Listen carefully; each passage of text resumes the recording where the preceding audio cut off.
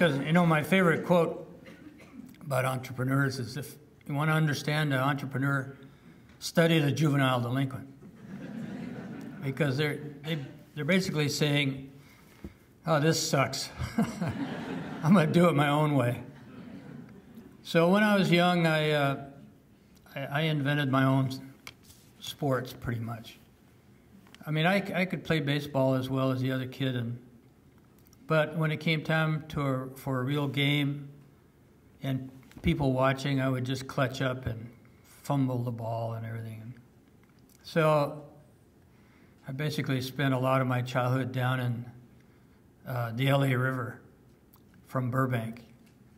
And uh, I was down there, you know, gigging frogs and catching crawdads and eating them and that kind of stuff. And uh, in fact, we used to swim in this, this is in grammar school. Uh, we used to go down and swim in the outfall from Walt Disney Studios. And it was the outfall from the film developing labs.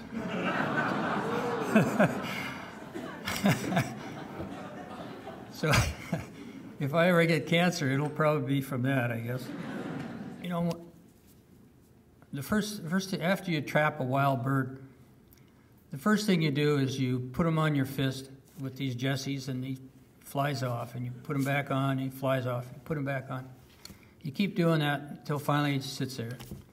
And you, you stay up all night until he finally falls asleep on your hand. That's a real quick way to build trust in the bird. And, you know, that's my kind of first lesson in Zen, because the Zen master would say, All right, just who's getting trained here anyway? So, from climbing to Falcons Eyries, um, I learned to climb mountains. And uh, in those days, there were very few mountain climbers around. And all the gear was made in, uh, in Europe, and the, the, pitons that you drive into the cracks to protect yourself and stuff were made out of soft iron, and they cost 15 cents a piece.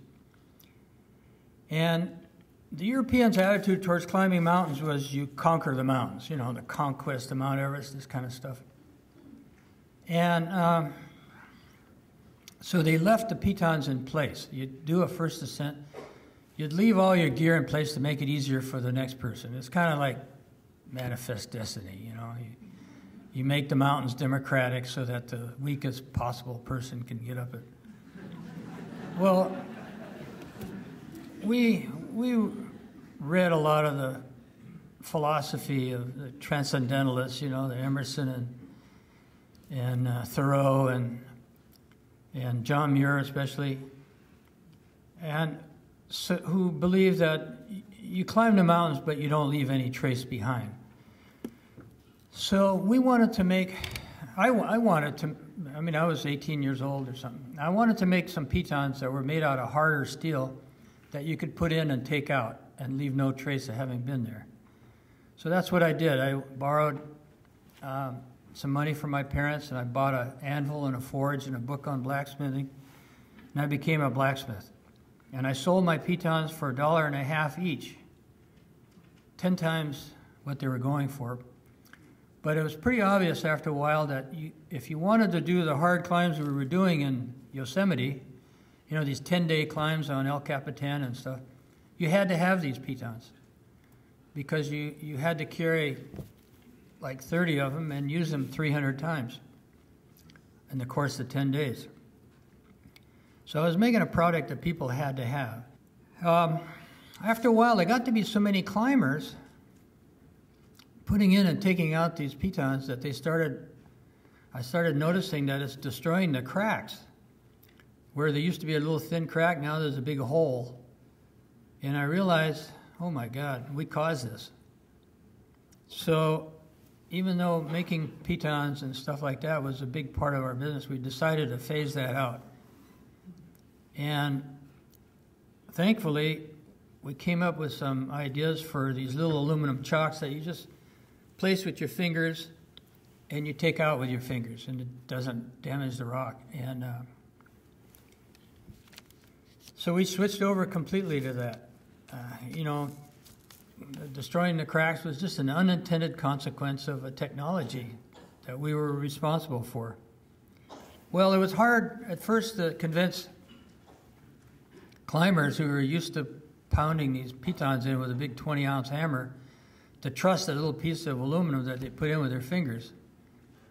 So we had to lead by example, and so uh, myself and another guy went and climbed a route on El Capitan without hammers and without pitons, just to show that uh, if you could do that, you could climb anywhere safely.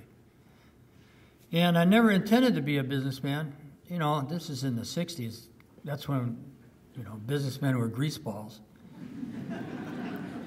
so I, I, just happened to be a craftsman that, uh, you know, every, every time I looked at a piece of equipment, I had an idea on how to make it better. I'm kind of an innovator. I'm not an inventor. It's like the difference between invention and innovation is uh, invention is one is zero to one, innovation is one to one thousand. And so over the course of years, we basically redesigned every single piece of climbing equipment, made it better. So it got to be pretty successful. I had 80% of the climbing business um, from a, this little black blacksmith shop. And another Zen lesson that I learned is that uh,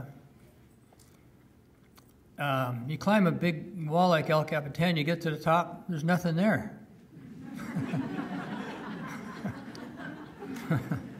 there's no photographers, there's no uh, dancing girls.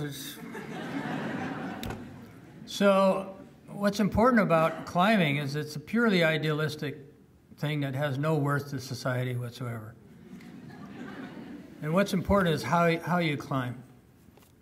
And uh, so that's a lesson I learned in business as well that uh, you don't focus on making a profit, you focus on all the process of making a profit, and the profits will just happen.